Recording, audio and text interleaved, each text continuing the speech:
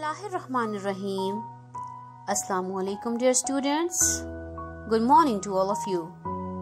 Today, date is 24th May, and the day is Monday. Our today's word of the day is heliacal.